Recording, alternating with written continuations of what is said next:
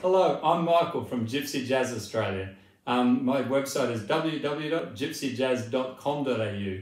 Today I'm introducing you to the Alves de Puga guitar. I've just received this, um, this particular guitar, his D670 model Alves de Puga, which is made by Jean-Louis Alves, who works out of a small village in southwest France. Um, his son Timo, I believe, is also currently being trained to take over as the next generation of the Alves de Puga luthier family.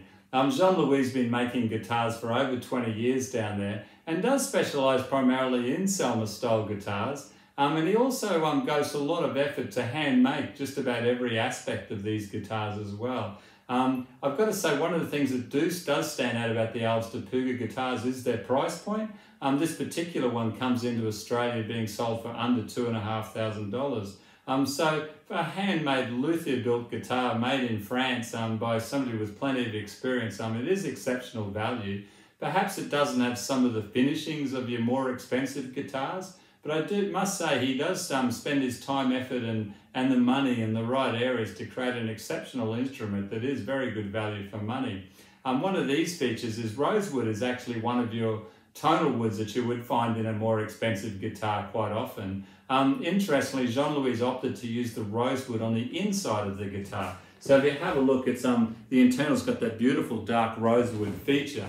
Um, but then on the outside is used sycamore. So very different combination of those woods. And I haven't come across another guitar that's been made with sycamore before, but um, it's beautifully featured. And, um, and as a tonal wood, it stands up, it, um, it sounds beautiful. On the top he's used your solid um, spruce top. Um, again, he's sort of um, lightly, um, lightly uh, tarnished and varnished that one. So the whole instrument's just made with a very, very soft um, nitrous matte finish. So those woods are allowed to sing and, um, and stand up for themselves. So all up, um, like I say, he's put the money in the right areas. He's got a, um, a French-made uh, Selmer tailpiece and he's got the Grover 300 plate tuners on the top with a um, mahogany neck and your ivory um, uh, uh, soundboard.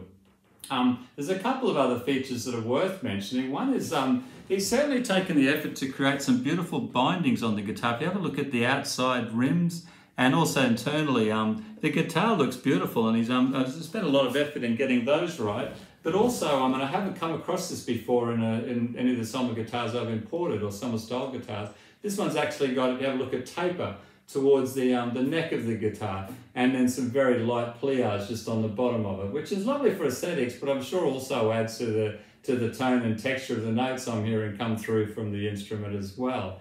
Um, so that's just a little bit about um, Jean-Louis Alves and his brand name Alves de Puga guitars. Um, nice to get something different in and I'm really enjoying sort of getting to know these luthiers and, and also introducing their instruments as something different um, that's been played in Australia I don't think anybody's probably come across one of these before. So also very exciting. Um, thanks for your time and I look forward to meeting you soon. All the best now.